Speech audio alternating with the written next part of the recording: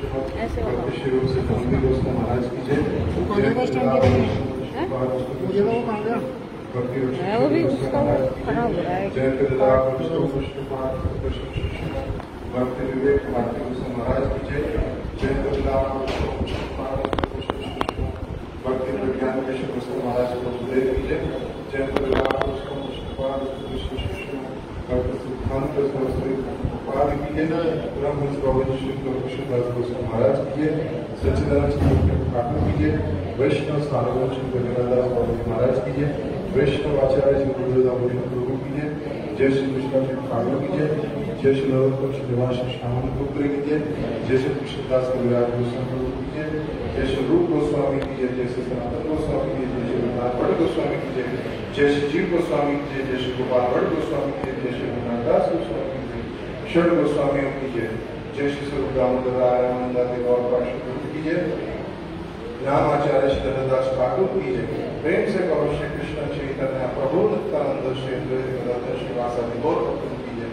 श्री नंदे धाम की जय, हमारे प्रधान की जय, श्री राधा कृष्ण गोपी को गोवर्धन, द्वादश मंडल की जय। द्वादश की जय, श्री श्याम गुण राधा गुण यमुना, गंगा, तुलसी देवी की जय। श्री जगन्नाथ मंदिर, सुभद्रा जी की जय। भक्त श्री प्रहलाद महाराज की जय भगवान देव की जय चारों धामों की जय चारों आचारों की जय चारों परंपराओं की जय आकरण राशि के मठ की जय श्री गौड़े वेदांत समिति की जय केशव जी गौड़े मठ की जय श्री रूप सनातन गौड़े मठ की जय श्री रमण प्यारी गौड़े मठ की जय श्री राधा गोविंद गौड़े मठ की जय श्री राधा कृष्ण प्यारी गौड़े मठ की जय श्री गौर नारायण गौड़े मठ की जय देवानंद गौड़े मठ नाम जय श्री हरिनाम संकीर्तन की जय श्री हरिनाम महामंत्र की जय। अनंत कोटि वैष्णव वृंद की जय। भक्ति वेदांत श्री कृष्ण महाराज गुरुदेव की जय। संध्या आरती की जय, संध्या आरती करें, भक्त की जय। गौर प्रेमानंदे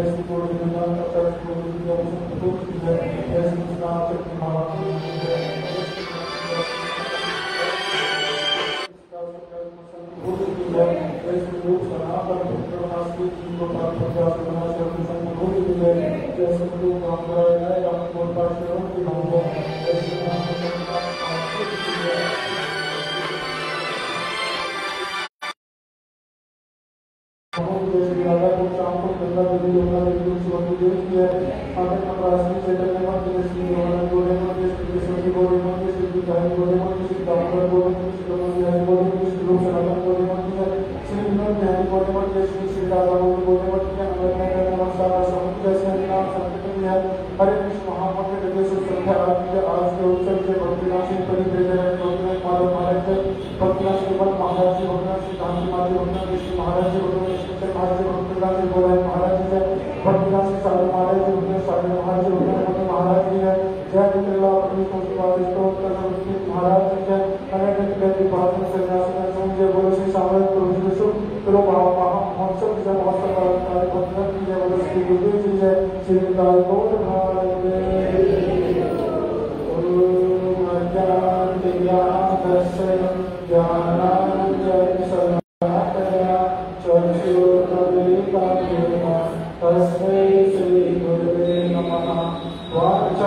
सर्वस्वरूपस्य कृपासयो वैरेच पतितानां पापेभ्यो वैष्णवेभ्यो नमो नमः। अजानुलम्बितो भजो कनकालरातौ सङ्केत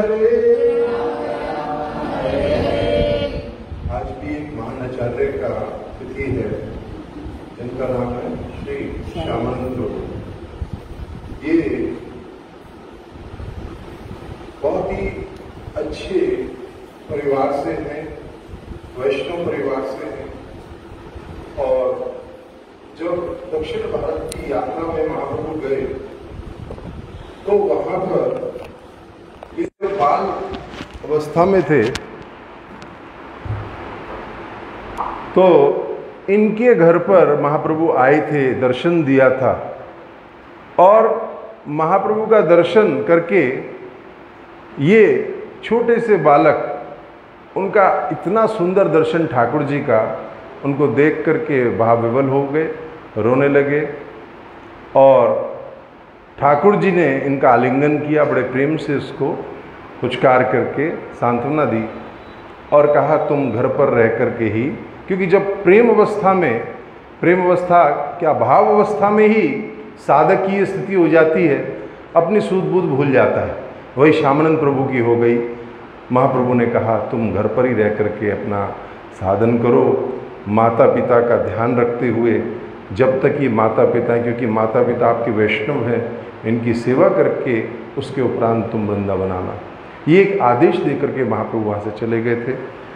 उसके उपरांत ये एक महान संत हुए हैं, जिनका नाम है श्री हृदय चैतन्य।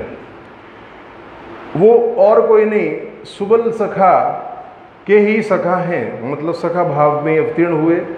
तो उनके ही शिष्य, जिनका श्यामानंद प्रभु से पहले नाम था दुखी कृष्णदास। चैतन्य महाप्रभु ने उन्हें आलिंगन किया और कहा, आज से तुम्हारा नाम हुआ सुखी कृष्णदास।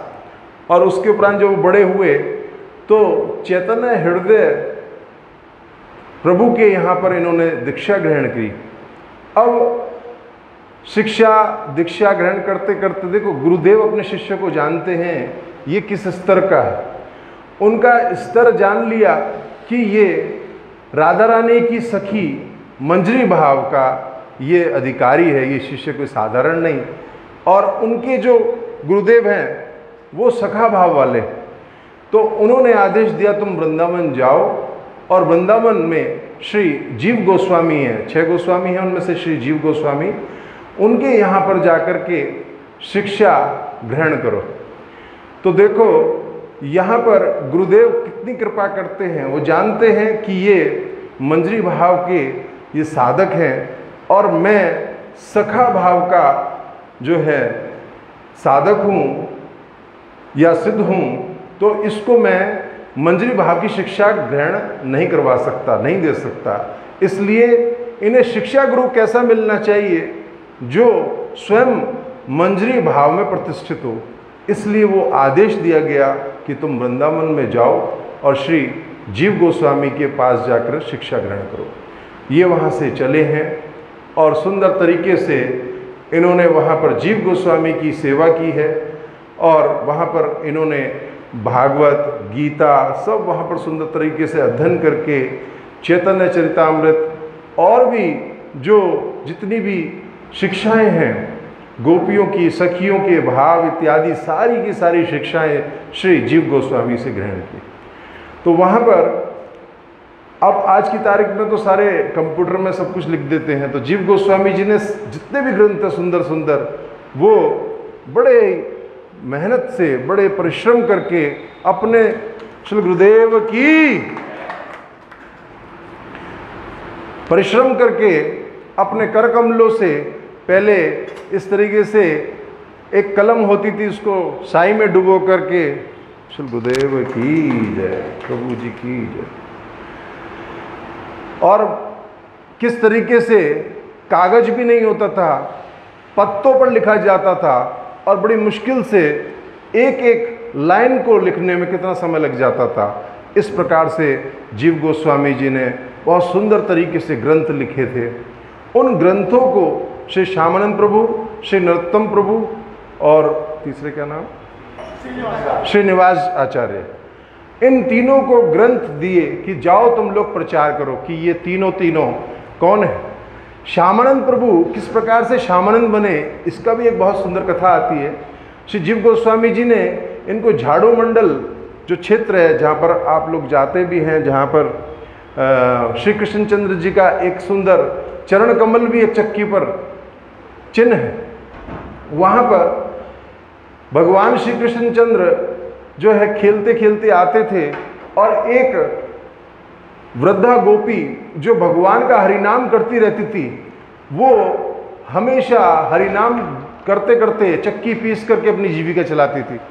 ठाकुर जी का जब जहाँ नाम लिया जाए, वहाँ स्वयं भगवान श्री कृष्ण प्रकट हो जाते हैं और ये हरिनाम करते करते आँखें मूंद कर चक्की पीस रही है और वृद्धा गोपी को पता नहीं कब में कृष्ण खड़े हो गए हैं और अपना चरण कमल चक्की पर रख दिया है। मैया, अब आपको चक्की को पीसने की आवश्यकता नहीं पड़ेगी। एकमात्र आप हरिनाम भजन करो और यहाँ पर आकर के इस चरण कमल को देख करके सब लोग क्या करेंगे? यहाँ पर अपने आप, आपको इतनी दक्षिणा देंगे कि आपकी जीवा की चिंता नहीं रहेगी। तो वहाँ पर अभी भी आप लोग जाएँगे तो भगवान श्री कृष्णचंद्र जी का सुंदर चरण कमल है। उस चक्की पर आप दर्शन कीजिएगा, परिक्रमा कीजिएगा। तो वही क्षेत्र है पूरा, जहाँ पर श्यामानंद प्रभु सुबह सुबह क्या करते थे? झाड़ू गुहाड़ते थे। ये सारी की सारी जो कुंज लीलाएँ हैं, उनको जो है, कुंजों को, सेवा कुंज इत्यादि को सफ़ा करने के, सफ़ाई करने के लिए झाड़ू इत्यादि लगाना, ये श्यामानंद प्रभु को, उनके गुरुदेव ने आदेश दिया था। और ये सदैव सुबह सुबह उठ कर करके, भजन आरती वगैरह करके, मंगल आरती करके अपना सुबह सुबह झाड़ू लगाया करते थे। एक दिन इनको एक सुंदर, एक नुपुर मिला।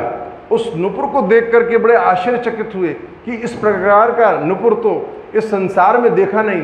इतना सुंदर आभूषण सोने का भी है तो भी इतना अच्छा नहीं बन सकता, क्योंकि संसार का जो भी प्राकृतिक वस्तु है, वो हृदय में आनंद प्रदान नहीं कर सकती। वो प्राकृतिक आभूषण इतना ज़्यादा आकर्षित कर रहा था कि जैसे ही उन्होंने हाथ में लिया उसको तो उनको आनंद की अनुभूति हुई। और सोचा मैं गुरुदेव को दिखाऊँगा। जाकर के जीव गोस्वामी को जब दिखाया तो गुरुदेव ने कहा, देखो, ये साधारण झुमका नहीं है। जो भी इसका जिसका भी ये खोया है, जब तक वह खुद नहीं आ जाए, तब तक देना मत। जिसका भी है ये, चाहे वो कोई गोपी है, चाहे कोई स्त्री है, वो जब तक स्वयं ना आ जाए, तब तक देना नहीं। तो ठीक है, उन्होंने अपने उतरी में बाँध लिया और अगले दिन भी जब झाड़ू देने गए तो वहाँ पर राधा रानी की सखी, ललिता विशाखा और अन्य गोपियाँ छोटी छोटी रूप में वहाँ पर आ रही हैं, ढूंढते हुए कि कहाँ है राधा रानी का झुमका गिरा जो, और जो नुपुर है, वो कहाँ गिरा ढूंढ रही है? तब बाबा से पूछा, बाबा, ये बाबा कौन? श्यामानंद प्रभु।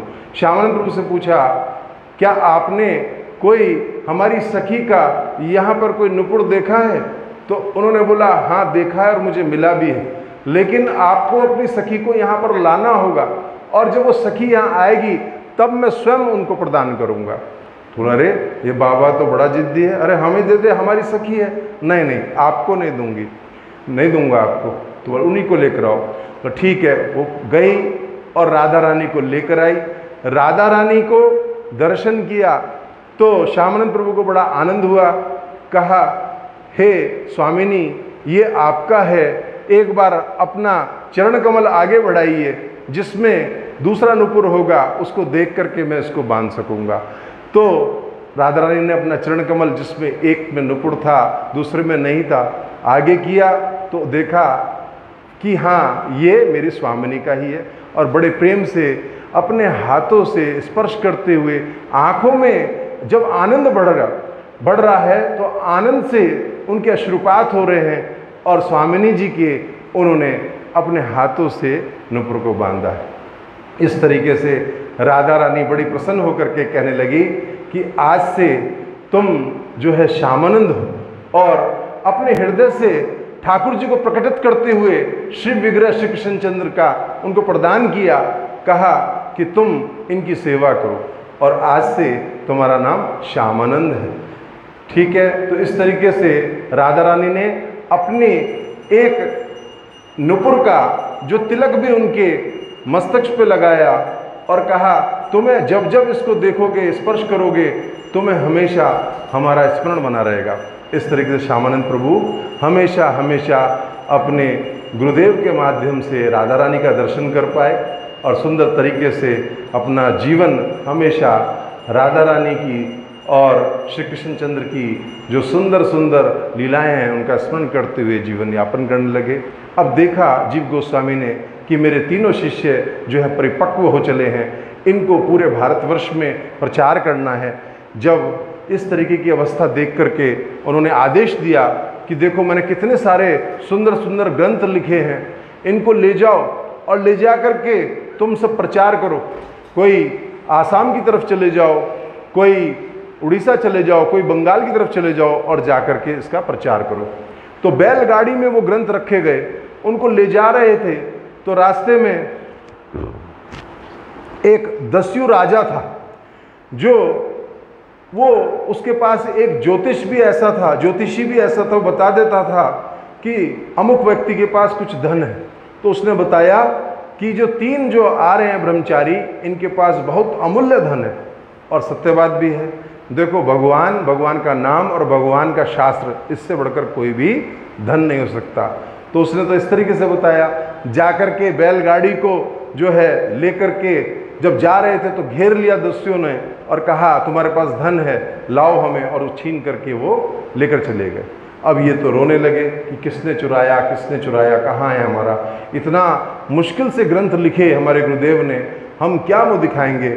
श्यामानंद प्रभु ने कहा, देखो, मैं इधर ही रहता हूँ, तुम दोनों चले जाओ। जब तक मुझे ग्रंथ मुझे नहीं मिल जाएँगे, मैं यहाँ से जाने वाला नहीं।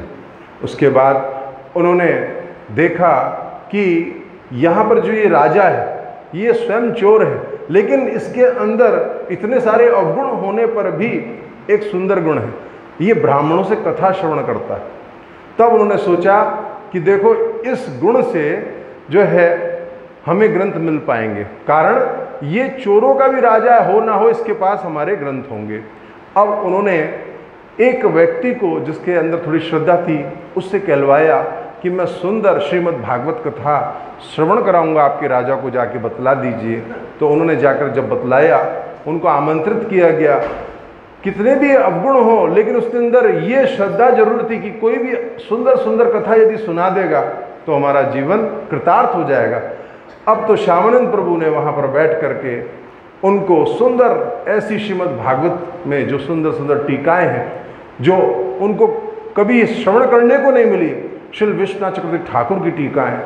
और उसमें जीव गोस्वामी जी का सुंदर सुंदर जो लिखित रूप में टीका का सुंदर वर्णन है, वो आज तक उस दस्यु के राजा ने सुना नहीं था।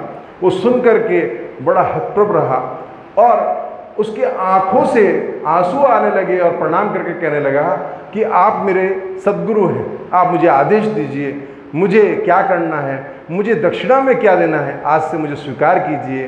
तब श्यामानंद प्रभु ने कहा, देखो, हम यहाँ से ग्रंथ लेकर के जा रहे थे और हमारे ग्रंथ हमें मिल जाए, यही हमारी दक्षिणा है। और मुझे लगता है ये कार्य आप कर सकते हो। राजा ने कहा, अरे गुरुदेव, आप क्यों चिंता करते हो? सारे के सारे ग्रंथ मेरे पास सुरक्षित रखे हैं और समस्त ग्रंथों को उनको प्रदान किया गया। तो वहाँ पर जो है श्यामानंद प्रभु बड़े ही प्रसन्नचित हुए और वहाँ पर उन लोगों को पूरे सभा को पूरे वहाँ की राजधानी को सब लोगों को वहाँ पर वैष्णव बनाया और भी बहुत सारी कथाएँ हैं श्यामानंद प्रभु की। प्रभु जी भी हैं महाराज जी भी हैं उनसे श्रवण करेंगे। धन्यवाद। वांछा कल्परुष कृपा सिंधु भी पतितनाम पावने भी वैष्णव नमो। नमः हाँ अरे वो और भंडारा नहीं कराया मैंने सामंत प्रभु जी सामंत प्रभु जी की कथा सुनाएँगे। ओनली माइक माइक माइक और- और और एक क्षमा करा या दो दो क्षमा करा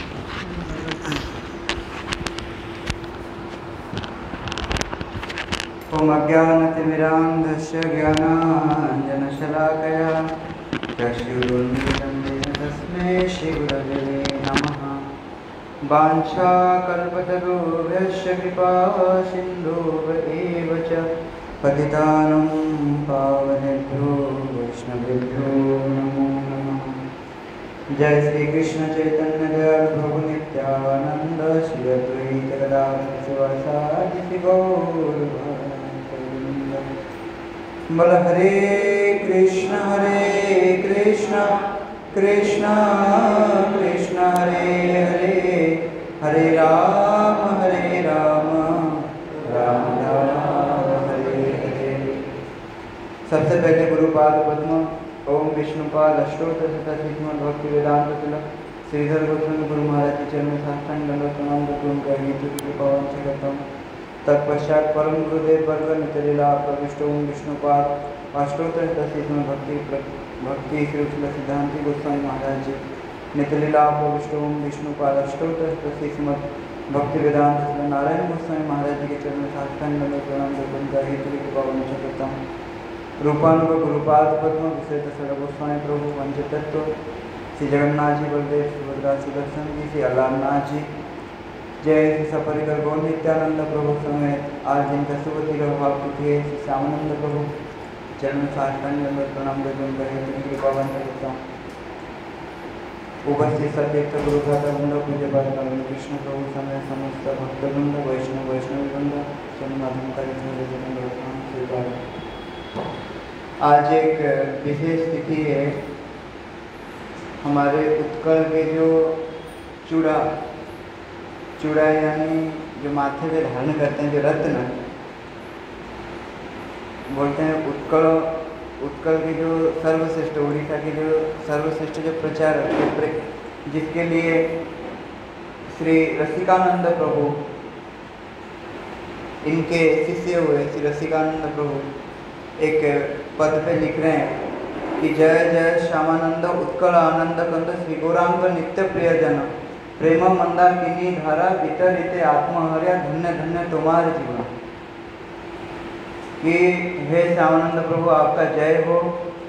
और उत्कल आनंद कंद, आप उत्कल में इस प्रकार के जो प्रेम मंदाकिनी धारा, जो प्रेम के बन्या पे दिया, जिस प्रकार ने श्यामानंद प्रभु ने और पहले कभी भी नहीं दिया गया था। धन्य धन्य तुम्हारी। किस प्रकार का आज श्री श्यामानंद प्रभु का विरह तिथि है। प्रभु जी ने सब कुछ बोलने वाले कुछ छोड़ा ही नहीं, सब कुछ बता ही दिया है।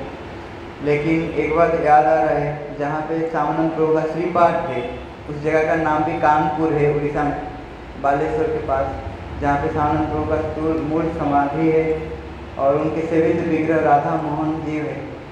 एक बार किसी विशेष उत्सव में प्रभुपाद के दो तीन साल के पहले प्रभुपाद के सन्यासी का सौ साल पूरा हुआ। तो उसी उत्सव में पूरा उड़ीसा में क्या हुआ था कि सारे वैष्णव जगत को बुला करके उड़ीसा में जितने भी वैष्णव हैं और बाहर बाहर से सारे वैष्णव को बुला करके एक परिक्रमा किया गया था। पूरा उड़ीसा में हुआ था। तो उस समय वहाँ पे प्रभुपाद के पाद पीठ है, भद्रक में काऊमरा बोल के एक जगह पे।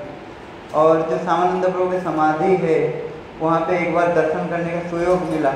वहाँ पे वैष्णव के मुख से श्रवण करने में थोड़ा कुछ प्राप्त हुआ, वो बता रहा हूँ।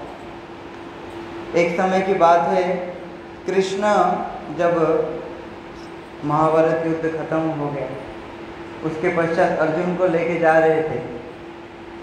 तो जैसे ही जा रहे थे, कृष्ण देखे, यमुना जी को देखे।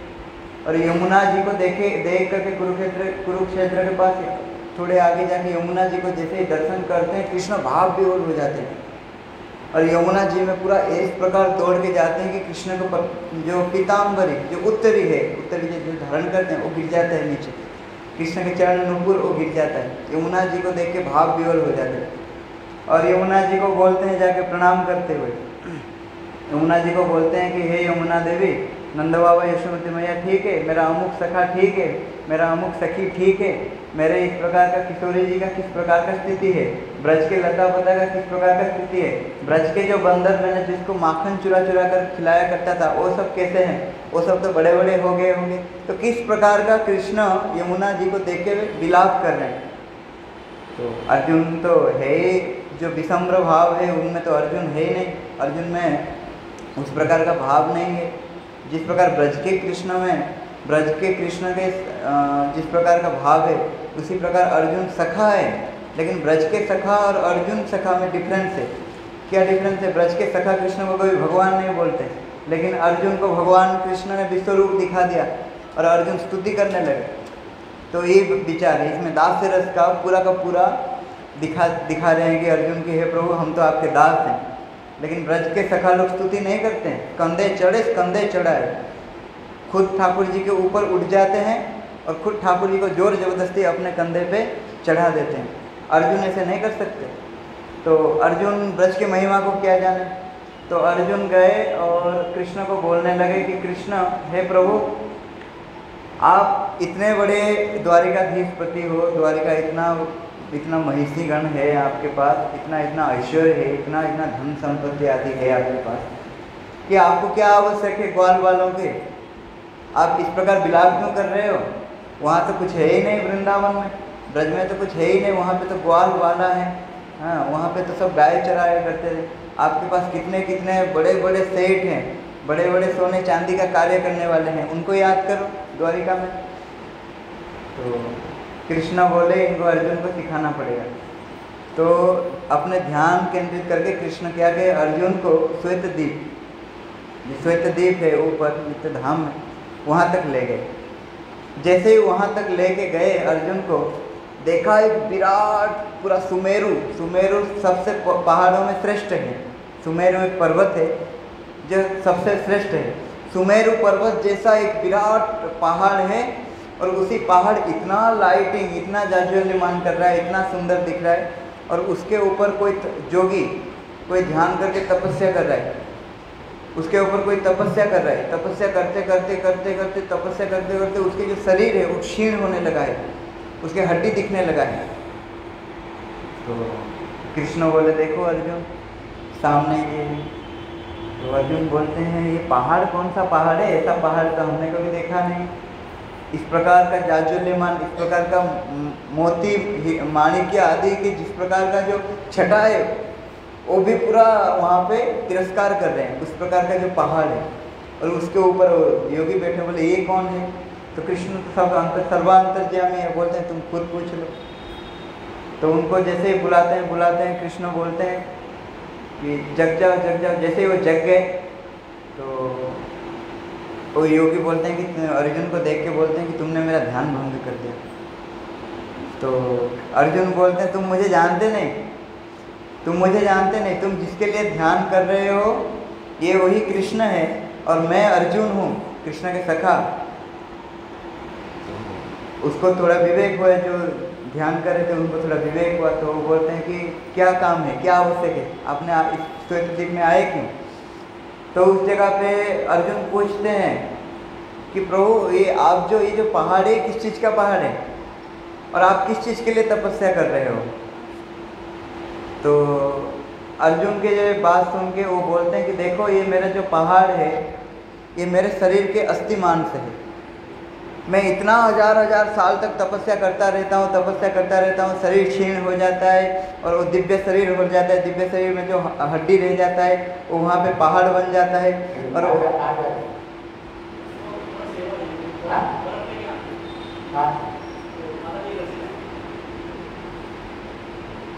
वो पहाड़ बन जाता है, फिर वो पहाड़ के ऊपर से फिर उसका अपने तेज के बल से वो फिर पुनः नूतन शरीर नव यौवन हाँ यौवन शरीर उसको प्राप्त होता है, फिर तपस्या करता है, फिर हड्डी उसी पहाड़ में मतलब वो कितने हज़ार साल तक तपस्या किया, उसको तपस्या करते करते करते करते वो हड्डी में एक विराट पहाड़ हो गया, सुमेरु जैसा भी और सुमेरु से भी बड़ा पहाड़ हो गया। तो जो पहाड़ है, उसका हड्डी है, अस्थि है। तो अर्जुन तो चकरा गए, भाई, इस प्रकार का तपस्या जगत में कौन कर सकते हैं? तो अर्जुन पूछते हैं, आप क्यों तपस्या कर रहे हैं? आपको तपस्या करने का कारण क्या है? तो बोलते हैं, मेरा तपस्या कारण का एकमात्र जो लाभ है मतलब एकमात्र उद्देश्य है, केवल एक क्षण के लिए मुझे ब्रज में वास मिले। क्या बोले? एक क्षण एक क्षण कितना होता है? कुछ सेकंड। उसी सेकंड के लिए मुझे वृंदावन में वास मिल जाए। तो आश्चर्य हो गए इस प्रकार वृंदावन का महिमा है, इस प्रकार ब्रज की महिमा है। तो अर्जुन बोलते हैं कि जो वृंदावन अधिपति है, ये तो कृष्ण है, ये दे देंगे आपको। तो जो योगी कृष्ण के चरण में पड़ते, प्रभु, कुछ क्षण के लिए वृंदावन दे दो। तो कृष्ण बोलते हैं, देखो, तुमको मैं नित्य गोलक धाम तो दे सकता हूँ ऊपर वाला, लेकिन जो भौम वृंदावन है, वो मेरे बस की बात नहीं है। वो तो किशोरी जी के बात, की बात है। वो मैं नहीं दे सकता, वो तो केवल राधा रानी ही दे सकते हैं। तो इसी भाव से वहाँ पे इसका प्रकाशित होकर वैष्णव लोग बोलते हैं कि वहाँ साक्षात किशोरी जी प्रकाशित होते हैं, प्रकटित होते हैं और उनको वृंदावन धाम देते हैं। तो ब्रज के जो राधा कुंड श्याम कुंड गिरिराज और ब्रज के जो भूमि है, वो अपने में महत्व, अपने में एक विशेष महत्व है। जो इसको कृष्ण भी असमर्थ होते हैं, वो उनके भक्त समर्थ करके दिखाया। पूज्य पास भक्ति सर्वस्व गोविंद महाराज, वर्तमान के आचार्य, वो बताया क्या करते थे। जहाँ पे हमने सामानंद प्रभु का अभी समाधि है, वहाँ पे राधा कुंड है श्याम कुंड है, गिरिराज जी है और वहाँ पे सारे सारे चिन्हट किया हुआ है। तो पूज्यपात भक्ति सर्वस्व गोविंद गोस्वामी महाराज जी बोले कि जिस प्रकार कृष्ण में भी सामर्थ्य नहीं है, ब्रज में बास देने का राधा कुंड श्याम कुंड का तो दूर की बात है। तो इसी प्रकार सामानंद प्रभु का समर्थ है कि साक्षात जो नित्य धाम से जो दूसरे जो राधा कुंड श्याम कुंड और साक्षात रूप में प्रकाशित कर दिया हमारे उड़ीसा में। तो इस प्रकार सामानंद प्रभु का महिमा है। किस प्रकार सामानंद प्रभु ने जो कनक मंजरी, सामानंद प्रभु कौन है? साक्षात कनक मंजरी। इनके जो गुरुदेव है, हृदय चैतन्य दास और उनके गुरुदेव गौरीदास पंडित, हम जाते हैं हर साल अंबिका कालना में वहाँ दर्शन करते हैं। तो इनके गुरु भी कम नहीं है। और इनके शिष्य भी कम नहीं है। तो जो श्यामानंद प्रभु जिस प्रकार निकुंज में झाड़ू कर रहे थे तो उसी समय क्या वो भाव हुआ? निकुंज में इतने सारे लोग झाड़ू करते हैं, लेकिन किस किस चीज़ को उसी उसी उसी चीज़ को उसको अभिष्ट प्राप्ति होता है? जो राधा रानी के नुपुर सबको मिला नहीं। और राधा रानी के नुपुर, राधा रानी जिसके ऊपर कृपा करने के लिए चाहें, परम मात्रा में रचिले जे तुम्हार तिलक, धन्य धन्य तुम्हार तिलक। चरणे कुमकुम दिया, श्रीमती आज्ञा पे रचिले जे तुम्हार तिलक। कि राधा रानी अपने धूल चरण में और जो जिस धूल के लिए ब्रह्मा शिव जी स्तुति करते हैं, उसी धूल के लिए एक नुपुर को लेके उसी धूल में क्या के सामानंद प्रभु के हृदय में सामानंद लिख दिए और उनके तिलक रचना कर दिए। तो इसी प्रकार जिसको किशोरी राधा रानी कृपा करते हैं, वही वास्तव रूप में सामानंद। जो सामानंद नाम का जो अर्थ है, जिस समय मुझे गुरुदेव ने नाम प्रदान किया। तो उसी समय मुझे तो पता नहीं था तो गुरुदेव स्वयं बोलते हैं। एक बार मैंने पूछा था गुरु जी से कि इसका अर्थ क्या है? बंशीवर्धन प्रभु भी साथ में थे। तो हंस के बंशीवर्धन प्रभु ने बोलने लगे कि श्यामा श्यामा ददाति आनंदम इति श्यामानंदम।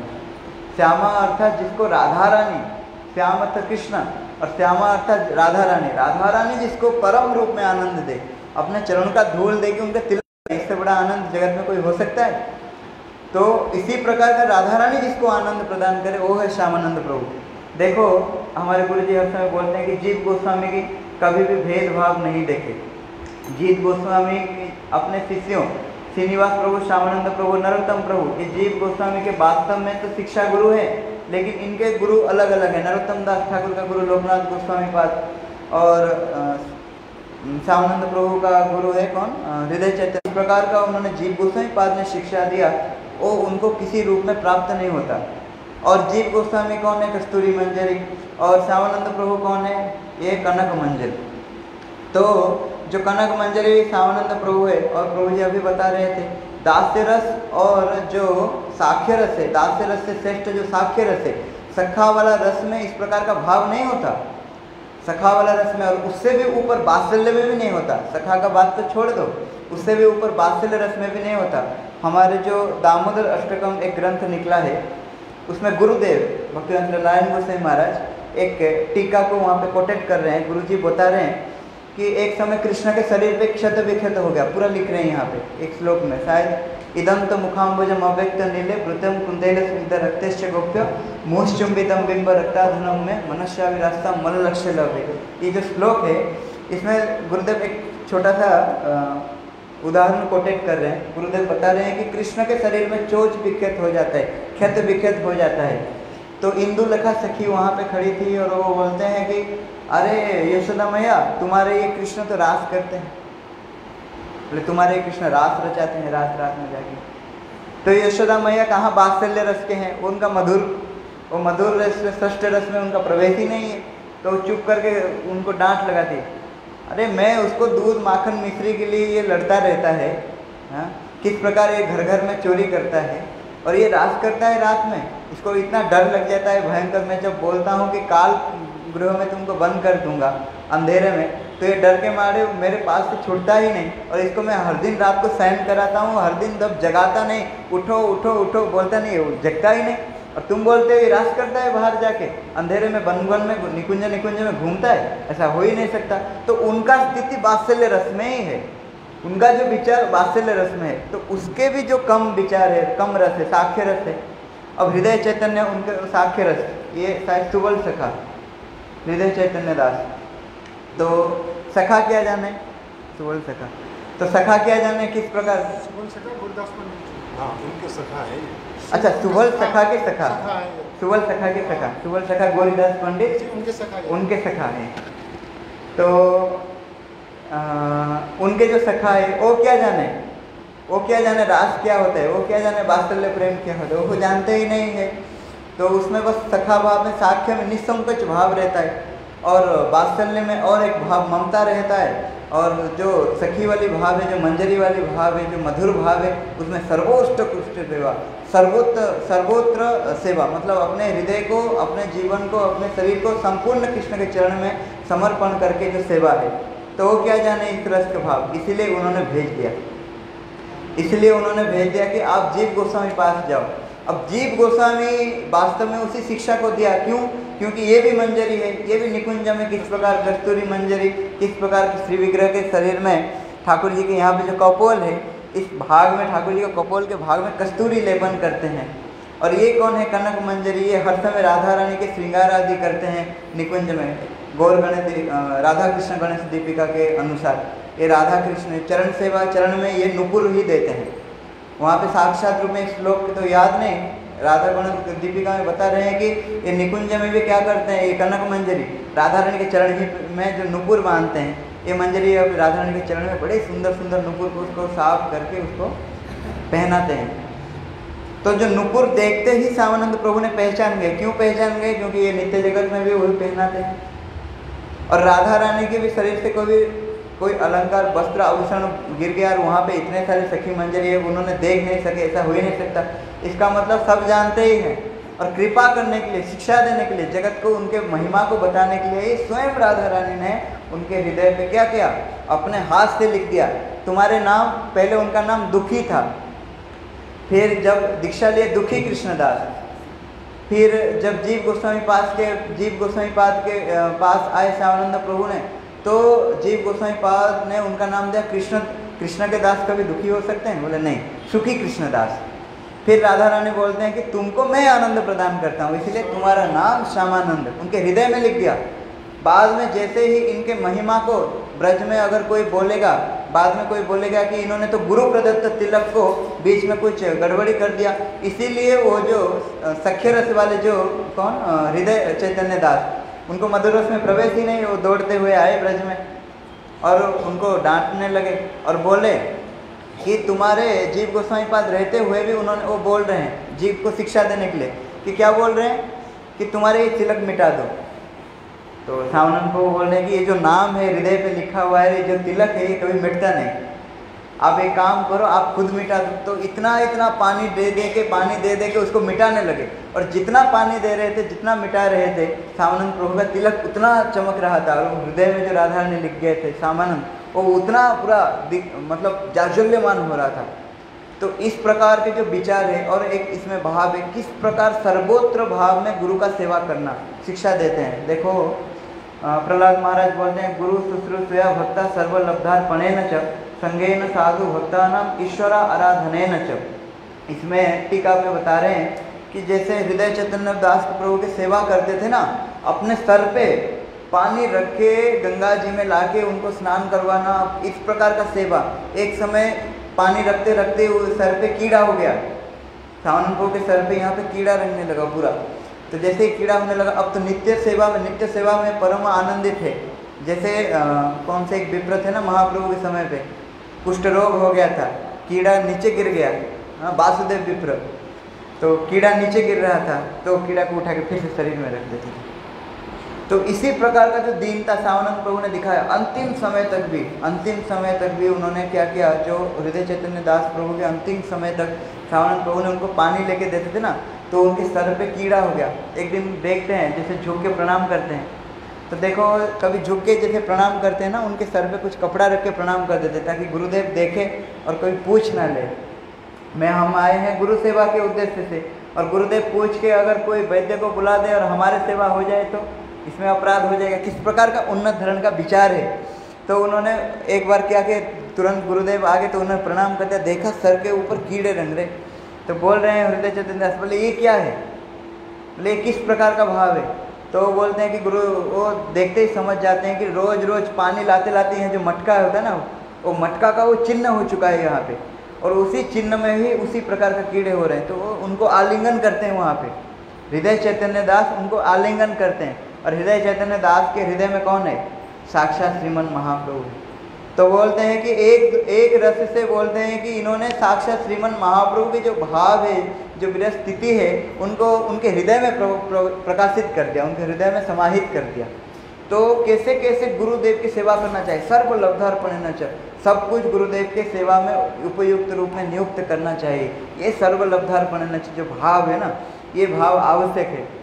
और इसमें बता रहे हैं जो सामानंद श्री कनक मंजरी सामानंद प्रभु जिस समय अप्रकट हो गए आज उनका शुभ विरह तिथि है तो उनके जो शिष्य रसिकानंद प्रभु क्या उनका विरह दशा था?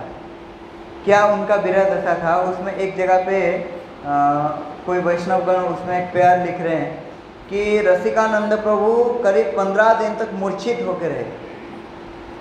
रसिकानंद प्रभु पंद्रह दिन तक पंद्रह दिन तक मूर्छित हो गए। सामानंद प्रभु जिस प्रकार आए और जिस प्रकार उड़ीसा में प्रचार करके अपने कुछ विग्रह को प्रकाशित किया और बहुत सारे स्थान पे सामानंद प्रभु का ये है तो वहाँ पे पंद्रह दिन तक रसिकानंद प्रभु मूर्छित हो गए। ये विरह दशा है। वैष्णव अप्रकट होने के बाद इसी विरह का आवश्यक है। तो वहाँ पे बड़ा सुंदर प्यार है, याद नहीं आ रहा तो रसिकानंद प्रभु भी वहाँ पे पंद्रह दिन तक मूर्छित हो गए। सामानंद प्रभु को तीन, जीव गोस्वामी के तीन शिष्य, शिला श्रीनिवास आचार्य प्रभु, नरोत्तम ठाकुर और श्यामानंद प्रभु, तीनों को तीनों दिशा में भेजा। श्यामानंद प्रभु को हमारे उड़ीसा में, उत्कल प्रदेश में भेजा। और नरोत्तम दास ठाकुर को मणिपुर में मणिपुर में भेजा। और श्रीनिवास आचार्य ठाकुर को बंगाल में भेजा। तो तीनों दिशा में भेजा तो सामानंद प्रभु जैसे ही उड़ीसा आए तो उड़ीसा के जैसे भी एंट्री में एक जगह पे गढ़ चंडी बोल के एक देवी थे। अभी भी है वहाँ पे। हमने उस स्थान को दर्शन किया। गढ़ चंडी बोल के एक देवी है। तो उसी देवी में वहाँ पे नियम था कि हर पूर्णमासी को हर अमावस्या तिथि को वहाँ पे एक एक इंसान का बलि चढ़ाया जाता है। अब श्यामानंद प्रभु, उनका तिलक इतना सुंदर है, शरीर पूरा जाज्वल्यमान है तो राजा ढूंढते ढूंढते देखा कि इसको आज बलि देंगे। तो जैसे ही श्यामानंद प्रभु को लेके आए और बलि देने के लिए लेके आए, वहाँ पे जैसे ही तलवार उठाए तो वहाँ पे साक्षात गणचंडी गणचंडी चंडी योग माया देवी हाँ?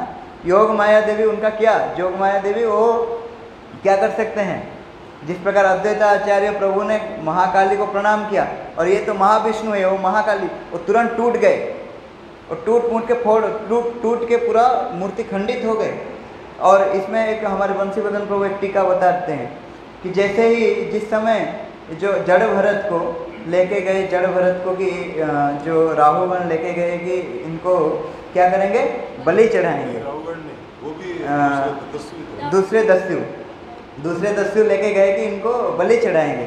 तो जैसे ही बलि चढ़ाने के लिए गए, अब दूसरे दस्यु जो चोर डकाए, महाकाली की उपासना कितने साल से कर रहे हैं?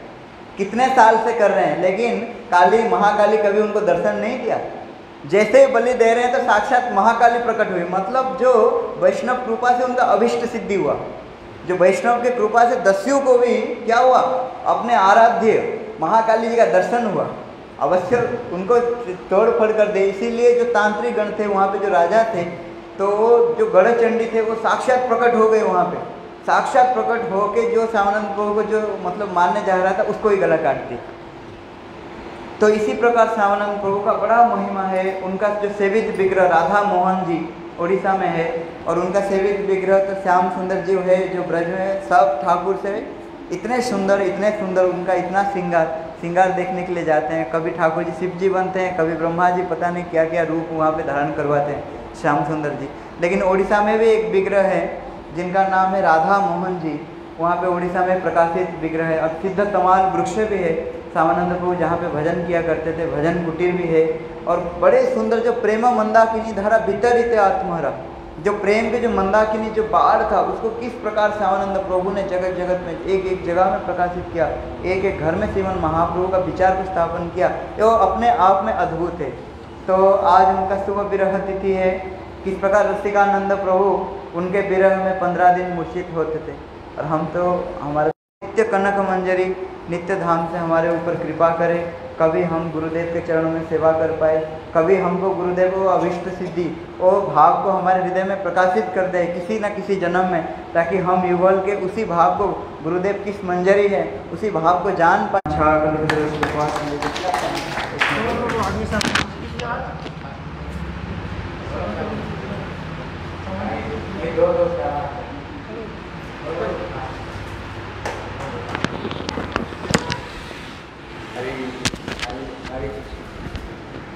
ओम ज्ञानतिमिरान्धस्य ज्ञानाञ्जनशलाकया चक्षुरुन्मिलितं येन तस्मै श्रीगुरवे नमः। हरे कृष्ण हरे कृष्ण कृष्ण कृष्ण, हरे हरे हरे राम हरे राम राम। हाँ सब ज़ोर से बोलो। बोलो, हरे कृष्ण हरे कृष्ण कृष्ण कृष्ण, हरे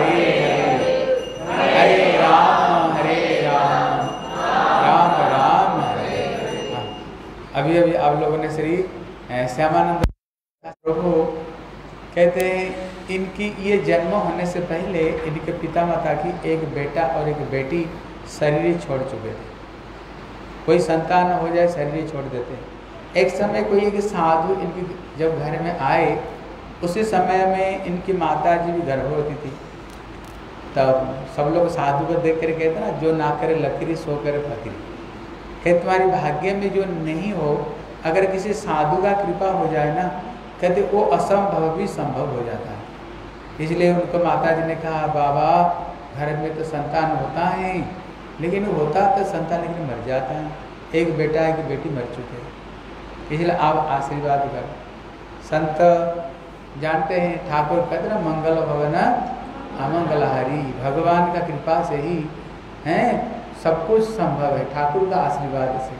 बोले, देखे, एक काम करो, अभी भी तुम गर्भवती हो तो ये बोल दो, इस बार घर में जो संतान होएगा, ये संतान को हम ठाकुर के सेवा में और संत सेवा में हम दे देंगे।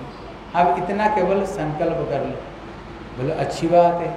अगर गुरु जी की सेवा, संत और भगवान की सेवा कर, इससे बढ़िया क्या हो सकता है?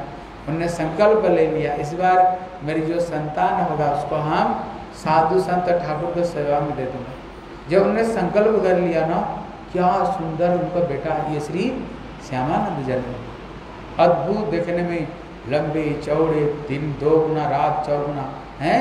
इसलिए इतने सुंदर संतान हुआ। कहते ना, जाके राखे साइया, मार सके ना कोई, बाल ना बांका कर सके जो जगह गई देखो, हमारी हमारे मेरे जो ऊपर जो बड़े भाई थे, दो भाई के ऊपर में एक भाई है। ये भी उनका यही सा अवस्था हुई बचपन में जैसे मर जाएँगे। कोई बीमारी में पड़े, लेकिन वो सही नहीं हो। सब वैद्य को दिखा दिया, लेकिन देखा ये तो मरने वाला है। सारे उपाय खत्म। जब मरने वाले हमारे देश में एक नियम है, जब देखते ये संतान और ज़िंदा नहीं रहेगा, फिर उसको जगन्नाथ जी की सेवा में, कहते हम श्री जगन्नाथ जी की सेवा में दे देंगे। वो बच्चे को एक सूप को ऊपर सुला दिया और पानी लिए और पानी को चारी तरफ़ में, हैं, घुमा करके दे कर बोले, ठाकुर जी, अगर ये बच्चा मरेगा नहीं, अगर ज़िंदा रहेगा तो हम तुम्हारी साधु संत बना देंगे, इसको तुम्हारी सेवा में दे देंगे। जब इतना बोल दिया ना, वो बच्चा मरने जा रहा था। वो मरने जा रहा था, लेकिन जब इतना बोल दिया, वो बच्चा मरा नहीं। और हमारे जितने भाई हमें सबसे ज़्यादा सुंदर और सबसे ज़्यादा गुणवान वही भैया बना। इसलिए जगन्नाथपुरी जो गए होंगे मेरे गुरु जी के मठ में, जो देखना जो चित्रकारी जो बनी हुई है, मेरे भैया ने उसको कुछ बनाया। बड़ा फ़ेमस चित्रकारी बना वहाँ की। इसलिए भगवान की कृपा जिसको ऊपर हो जाए ना, वो असंभव भी संभव हो जाता है। अभी जब उसने ठाकुर के आशीर्वाद से, इसलिए बड़ी दुख से जन्म हुए, इसलिए उनका बचपन का नाम रख दिया दुखिया। क्योंकि दुख से जन्म हुआ है, हैं? जब दुखिया गुरु जी बोल दिए थे लेकिन वो ठाकुर का आशीर्वाद ऐसे मिला है ना, है, क्या उसने पढ़ाई लिखाई किया? इतने इंटेलिजेंट बना, इतने शास्त्र भी जितने हमारे संस्कृत समय संस्कृत में पढ़ाई होता था, सारे संस्कृत को उन्होंने, शास्त्री और सबके सब उन्होंने बड़ा उन्होंने डिग्री सेवा दे देंगे हैं, अगर ठाकुर जी के लिए कुछ बोल दो ना, भैया देना पड़ता है। ठाकुर का नाम बोल करके अगर नहीं दोगे ना, पाप लगता है। फिर ठाकुर जी फिर तो सब कुछ ले लेते, इसलिए बोल करके ठाकुर को कुछ देना, वो चीज़ को दे देनी चाहिए, नहीं रखनी चाहिए, हैं? जो चीज़ संकल्प कर लेते हो। तब तो कुछ संत लोग जा, कुछ भक्त गाँव के लोग जा रहे थे, गंगा स्नान करने के लिए, और वहाँ पर आप लोगों ने अभी अभी श्रवण किया, श्री गौरीदास पंडित, आप लोग नवद्वीप गए हो? कौन कौन नवद्वीप गए? आप लोग अब मेरे साथ में गए होंगे, एक गंगा पार करते हुए अंबिका कालना जाते हैं। वहाँ पर नित्यानंद और महाप्रभु का विग्रह है, हैं? हम हर साल जाते हैं। वहीं पर श्री गौरीदास पंडित का शिष्य श्री हृदय चैतन्य वहीं पर थे। तो उन्होंने बोले, भैया, चलो गंगा स्नान भी करे आती जैसे दशहरा आती है। गंगा स्नान भी करे आएँगे। और वो बचपन से ही महाप्रभु, नित्यानंद प्रभु की कथा सुन सुन कर रोया करते थे। कृष्ण लीला की उन्होंने खेला करते थे। दिन रात भगवान के भजन में लगे रहते थे। बोले, मैं जाता हूँ गुरु जी से दीक्षा मंत्र लेकर के आऊँगा, फिर गंगा नहा करके आऊँगा, फिर गए, फिर श्री हृदय चैतन्य को पास से उन्होंने दीक्षा मंत्र दिया। जब दीक्षा मंत्र देते हैं, उसी समय गुरुदेव हमें क्या करते हैं? दीक्षा मतलब क्या है? बोले दिव्यम ज्ञानम जतो दत्यात कुर्जात पापम संस्कय। दीक्षा मतलब होता है दिव्य ज्ञान। हमें गुरुदेव हमें दिव्य ज्ञान प्रदान करते। किस चीज़ के दिव्य ज्ञान? तब उसी समय गुरुदेव हमें भगवान को साथ में जोड़ देते हैं, जिसको ब्रह्म संबंधी कहते हैं। इसलिए गुरुदेव हमें कोई भक्ति का नाम प्रदान करते हैं। मतलब भगवान से हमें जोड़ दिए। इसलिए गुरु जी पहले था तो दुखी कृष्ण था दुखी। फिर गुरु जी उनका नाम रख दिया दुखी कृष्ण दास। फिर कृष्ण दास को साथ उन्होंने, कृष्ण का दास में उन्होंने जोड़ दिया। उन्होंने जोड़ करके गुरु जी से उन्होंने दीक्षा मंत्र को उन्होंने प्राप्त किया और दीक्षा मंत्र को प्राप्त करने का बाद गुरु जी की चरण में रहे और गुरु जी की उन्होंने खूब सेवा की। अभी गुरु जी तो आप सुन रहे थे, श्री सुबल सखा की प्रकाश है, लेकिन ये जो है, इनका जो नित्य जो सिद्ध भाव ये कनक मंजरी। राधा रानी की एक दासी।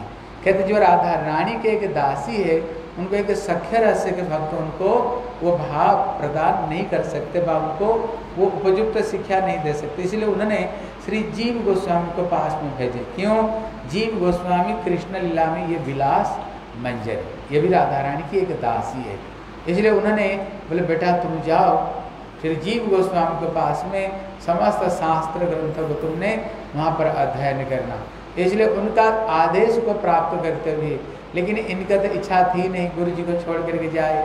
वो चाह रहे थे गुरु जी को पास में रहे हरी कथा सीखे और गुरु जी की सेवा करे। लेकिन गुरु जी का आदेश है।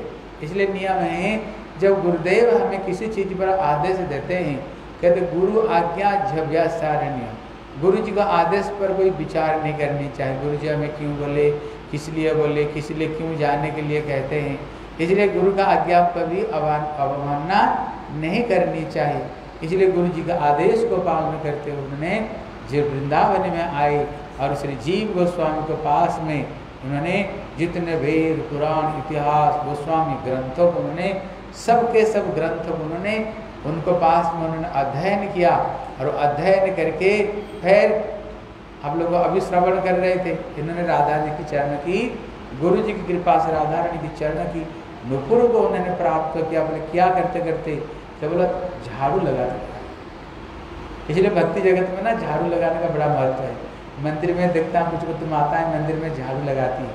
वो झाड़ू लगाना साधारण बात नहीं। आप तो झाड़ू लगाओगे मंदिर में, लेकिन झाड़ू कहाँ लग जाएगी? हृदय जो भगवान के दरबार मंदिर साफ़ करते हैं ना, वो मंदिर साफ़ नहीं करते, अपना हृदय को साफ़ करते हैं। इसलिए केवल उन्होंने मंदिर साफ़ करते करते झाड़ू लगाते लगाते राधा रानी के चरण के नुपुर को उन्होंने प्राप्त किया फिर उसको बहाना बना कर राधा रानी स्वयं उनको दर्शन देने के लिए चाहती थी। इसलिए राधा रानी की उन्होंने दर्शन भी प्राप्त किया और राधा रानी के चरण में उन्होंने नुपुर धारण कराया और राधा रानी ने उनको तिलक भी राधा रानी ने, तिलक भी राधा रानी ने प्रदान की। इसलिए ये श्यामानंद जो थे, अब सुने, उनको तीनों को तीन दिशा में जीव गोस्वामी भेजे और ये तीनों ने तीनों दिशा में जा करके और विशेष करके जो श्यामानंद प्रभु हमारे उड़ीसा में अभी भी उनका गोपीजन वल्लभपुर में उन सभी तो विग्रह श्री गोविंद देव है। अलग अलग स्थान पर उन्होंने मठ मंदिर स्थापन किया, उन्होंने प्रचार किया है।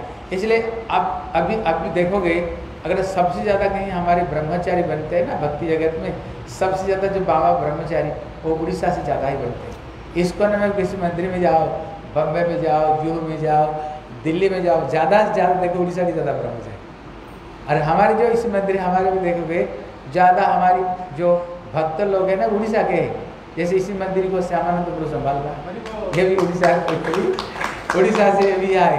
और हमारे नोएडा में एक मंदिर वहाँ पर अनुपम, वो भी उड़ीसा के। और पुरी में एक श्री अब जानते हो बंसी मदन प्रभु का जानते हो बोधय महाराज यहाँ यहाँ पर कुछ दिन तपन था कि नहीं? तमाल कृष्ण तपन प्रभु यहाँ पर थे, वो भी उड़ीसा के हम भी उड़ीसा के हैं। यहाँ जयपुर में सनातन प्रभु जी वहाँ पर। कुछ दिन पहले यहाँ पर जनार्दन प्रभु भी यहीं पर थे। इसलिए अभी अक्सर करके ना हमारे जितने मंदिर को ना उड़ीसा के ये श्यामानंद प्रभु के आशीर्वाद है हैं? ये श्यामानंद प्रभु की कृपा है जो कि उड़ीसा में और हमारे भक्ति प्रभुपाद का जो शिष्य भक्ति जीवन जनार्दन गोस्वामी महाराज भक्ति वैभवपुरी गोस्वामी महाराज और प्रभुपाद के बैखाने से महाराज बड़े बड़े संत हुए प्रभुपाद के गढ़ में। और इन्होंने पूरा उड़ीसा में उन्होंने प्रचार किया। लेकिन ये प्रताप किसी का है? बोले, श्री श्यामानंद इन्होंने ही उड़ीसा में प्रचार और प्रसार किया है।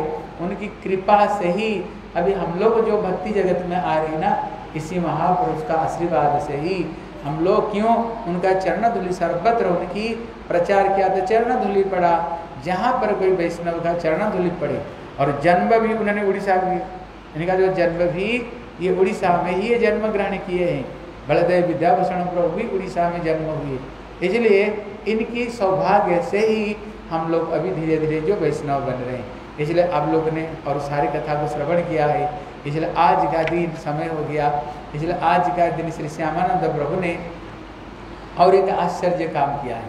पहले एक समय क्या हुआ ये श्यामानंद प्रभु एक एक दीवाल के ऊपर में बैठ करके अपना दामतन कर रहे थे। हाँ दामतन कर रहे थे।